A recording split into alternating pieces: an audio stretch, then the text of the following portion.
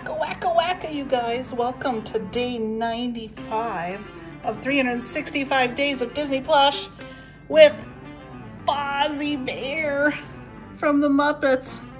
Isn't he great? He's a magnet. he is a plush magnet. So he's squishy. See? Squishy, squishy. And yet he's a magnet. He's so great. Oh, loving the Muppets. Can't wait for the new Muppet series on Disney Plus. That'll be fun too. Well, I hope you guys are having a great week. We're in the middle of it now. So hopefully it's all going well. And if there's any Disney character plush that you would like to see, leave it in the comments below.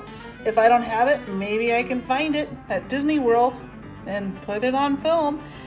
And um, if you like these videos, please give me a like. Really appreciate that. And subscribe for some more Disney fun at the parks, with plush, with everything Disney. Even the awesome magnets.